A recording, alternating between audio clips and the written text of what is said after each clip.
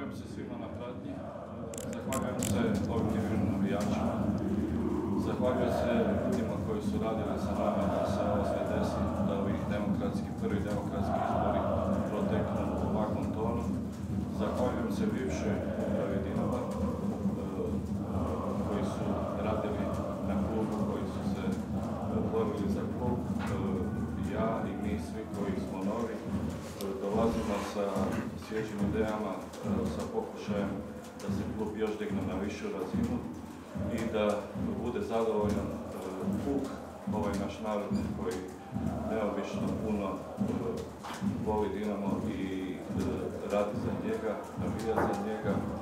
i održava ga na životu. Dinamo je dobio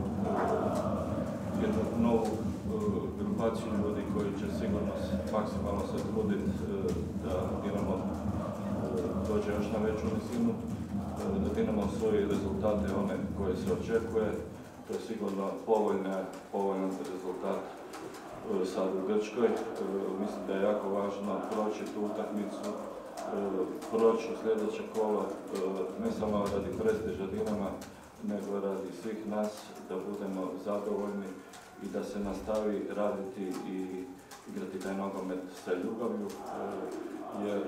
Dinamo je nogomet, Dinamo je ljubav, e, Dinamo je puno odricanja i Dinamo je puno stvari koje smo stalno govorili, a najvažnije od svega toga, da ponovim riječi koje sam rekao na početku, mi imamo Dinamo.